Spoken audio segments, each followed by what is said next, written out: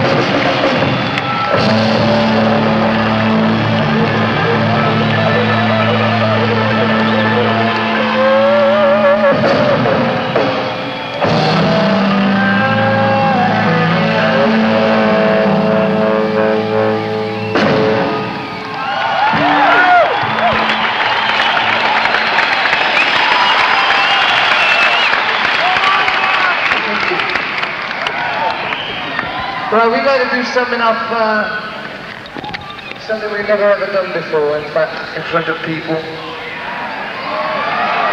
And it's, uh, it's not one of them fables either. This is a thing called the ocean.